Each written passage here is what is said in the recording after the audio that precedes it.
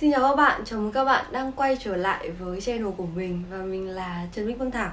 Ngày hôm nay thì mình sẽ quay trở lại với một video để nói với các bạn 10 điều con trai làm sẽ khiến cho con gái cảm thấy rung động.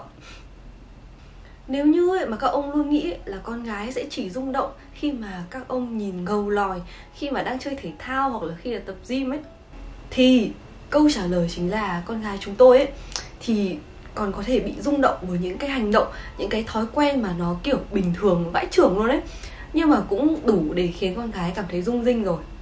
Đấy nên là video ngày hôm nay thì mình sẽ nói với các bạn những cái điều này để các bạn biết mà phát huy nhá. Điều đầu tiên đó chính là biết tiết kiệm tiền. Có thể thì điều này sẽ khiến bạn ngạc nhiên nhưng mà để mình giải thích nhá. Đối với con gái ấy, một người con trai vừa có tài chính vừa biết chi tiêu hợp lý lại có trách nhiệm ấy thì thực sự là nó cuốn cuốn vãi trưởng luôn và điều đó cũng thể hiện cái sự trưởng thành hơn là một anh chàng mà lúc nào cũng thích tiêu hoang ấy. Và cái này là có nghiên cứu hẳn hoi nha.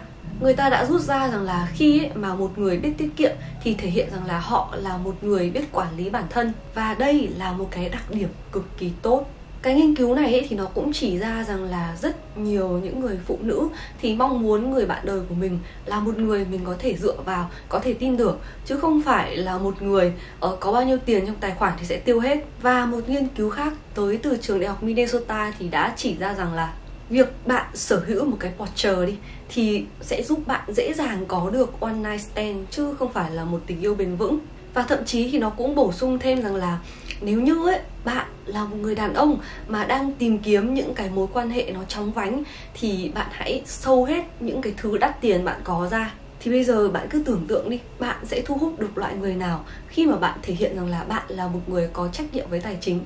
Và sẽ thu hút loại người nào khi mà bạn thể hiện bạn cứ flexing hết những gì bạn có ra. Kiểu bạn cứ áp hàng hiệu này, bla bla. Thì như cái đầu tiên ấy, thì bạn sẽ thu hút được một người mà thực sự muốn làm vợ của bạn. Còn cái kiểu thứ hai mình cũng không biết nữa. Tiếp theo điều thứ hai mà mình muốn nói với các bạn đó chính là lái xe giỏi.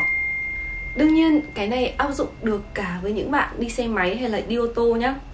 Con gái chúng tôi ấy, muốn được ngồi sau xe của bạn trai mà sẽ có cái cảm giác nó an toàn chứ không phải là cái kiểu cảm giác rất là căng thẳng ý thật sự thì con gái không thích mấy cái ông tổ lái đi xe xong rồi lạng lách đánh võng đâu những cái điều này ấy thì khiến tim con gái đập bình bịch luôn.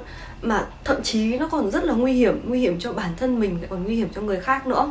Có thể con trai có một cái lầm tưởng rằng là nghĩ rằng là con gái ấy, thích khi mà con trai làm về cái thứ mạo hiểm hay là nẹt bô ở trên đường. Nhưng mà bạn biết sao không? Nó ngược lại hoàn toàn. Mỗi khi mà con gái nhìn thấy con trai kiểu lạng lách đánh võng rồi nẹt bô ở trên đường ấy thực sự nó có một cảm giác kiểu thiếu trưởng thành ấy. Có thể nhá nghe nó hơi min tí nhưng mà đấy là ý kiến của mình thôi. Tiếp theo điều thứ ba mà mình muốn nói đến đó chính là lùi xe. Mình thề rằng là mình bản thân mình nhá đã từng tua đi tua lại một cái clip trên tiktok để xem một anh tây anh ấy lái xe kiểu này. Kiểu khi các anh lùi xe thì một tay các anh cầm vô lăng còn một tay thì các anh ấy để ở sau ghế bạn gái ngồi bên cạnh ấy. Uhm, nói sao nhỉ cảm giác nó rất là kiểu sexy nhưng mà nó phải an toàn nhá. Nghĩa là bạn phải có kỹ năng, bạn phải có đủ kỹ năng để cho nó nó là an toàn. Chứ không phải là bạn thể hiện đâu. Nhưng mà đấy, nếu như mà ai làm được như thế, thì dù nó chỉ là một cái rất là nhỏ thôi, nhỏ xíu ấy, nhưng mà thực sự nó lại rất là ngầu và rất là hấp dẫn này. Như mình nói ở bên trên ấy, có cái kỹ năng lái xe giỏi.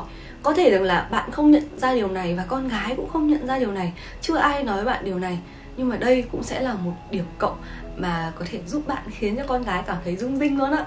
điều thứ tư đó chính là khi nhìn bạn sửa một cái gì đấy. Không biết mình đã từng nói với bạn chưa nhỉ?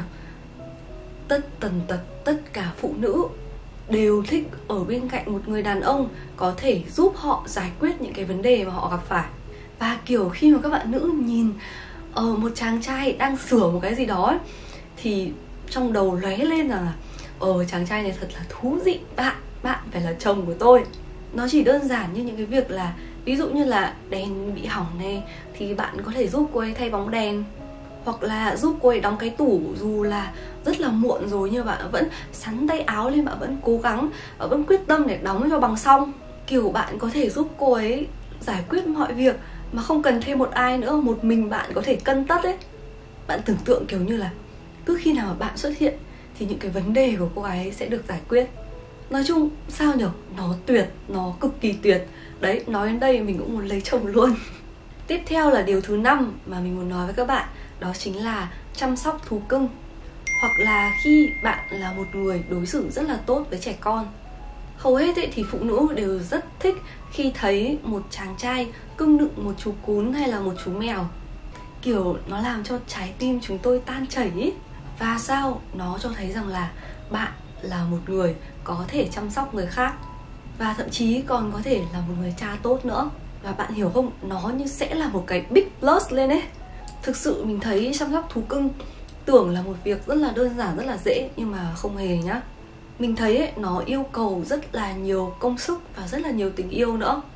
Và thêm nữa một điều đó là nếu như mà bạn có thú cưng ấy thì bạn sẽ khiến cho cái việc tiếp cận con gái của bạn nó trở nên dễ hơn ấy ê mình không xúi các bạn là bây giờ nuôi thú cưng đi để dễ tán gái nhá. Nhưng mà ý mình rằng là nếu như mà bạn đang có điều này ấy thì nó sẽ là một cái điểm cộng rất lớn cho bạn đấy. Tiếp theo sẽ là đến cái thứ sáu. Cái này nghe thì rất lạ ấy, nhưng mà nó chính là tay của các bạn nam này. Mình với con bạn mình hồi đại học ấy thì đã từng dành cả một buổi chỉ để bàn về tay của các bạn nam ở trong lớp thôi. Ê nó không phải là cái gì bệnh bạ như các ông nghĩ trong đầu đâu nhá kiểu mấy anh mà có ngón tay dài, xương xương này xong rồi gầy gầy, xong có một tí gân cốt nữa. Có thể nó thể hiện rằng là bạn là một người khá là chăm tập gym hoặc là chăm làm việc, cái kiểu vậy á. Và rồi cái móng tay này, nhiều thứ nó cũng thể hiện cái sự vệ sinh của các ông nữa. Rất nhiều bạn nữ cho rằng là khi mà nhìn ven tay của con trai ấy, thì cảm giác nó cực kỳ sexy và cực kỳ nam tính mình để ý nhá, các bạn, nữ mà fan K-pop còn truyền nhau những cái tuyển tập, những idol nam có những bàn tay đẹp nữa. Nên là cái này ấy thì nó sẽ khá đúng với nhiều cô gái. Tiếp theo điều thứ bảy mà mình muốn nói với các bạn đó chính là đeo kính. Không biết có ai nghĩ mình không nhưng mà mình thấy Hà Anh Tuấn ấy, đeo kính thấy đẹp trai hơn hẳn. Và mình nghĩ rằng là nhiều bạn nam khác thì cũng vậy. Crush của mình ấy thì bạn ấy cũng đeo kính luôn. Và ngày xưa ấy thì mình cực kỳ thích chụp trộm ảnh của bạn ấy cái việc bạn đeo kính thì nó sẽ khiến bạn nhìn hơi tri thức này, và nhìn bạn điềm đạm này. Và bản thân mình ấy thì bị thích những cái người như thế. Và mình nghĩ rằng là nhiều bạn gái khác cũng như vậy. Rồi, điều thứ 8 và cũng là điều cuối cùng, đó chính là bạn thể hiện cái tài năng của bạn. Có những người nhá, mình thấy thật sự là vốn cái việc tiếp xúc ngoài đời thường bình thường ấy, mình thấy họ chả có gì cuốn hút cả. Nhưng nhưng khi họ thể hiện cái tài năng của họ, kiểu như là chơi thể thao này, đánh đàn này, hát này hoặc là vẽ này, thì đột nhiên mình thấy họ ngầu hơn, họ cuốn hút hơn rất là nhiều. Thậm chí là những người mà chơi game giỏi nữa, nó thể hiện rằng là bạn là một người có năng khiếu. Và khi đó bạn sẽ tỏa ra một cái năng lượng rằng là bạn sẽ có rất là nhiều người thích bạn. Và lúc này thì họ sẽ cảm thấy có cái sự cạnh tranh hơn ấy. Ví dụ như thằng em họ mình mình thấy thì nó kiểu cũng béo béo xong rồi tồ tồ nhưng mà không nha, ra ngoài ấy thì nó là một item được rất là nhiều chị em yêu thích. Bởi vì nó ở trong câu lạc bộ âm nhạc của trường ARMS và lúc mà nó đánh guitar ấy thì trông nó cực kỳ là lãng tử này. Và quan trọng hơn hết ấy là bạn có một cái sở thích, bạn có một cái tài năng nào đó cho riêng bản thân bạn. Nó sẽ còn thu hút hơn là việc bạn cứ phải ngồi xong nghĩ cách như thế nào để theo đuổi người ta và đương nhiên rồi, cải thiện bản thân, cải thiện ngoại hình, cải thiện cái về trí tuệ của bạn là một cái điều mà ở mỗi video của mình mình luôn luôn nhắc đi nhắc lại với các bạn. Và nếu như bạn ấy đang gặp phải cái trường hợp là bạn quá béo này, bạn không thể nào mà giảm cân được ấy, thì có thể dùng thử coffee idol slim nhá.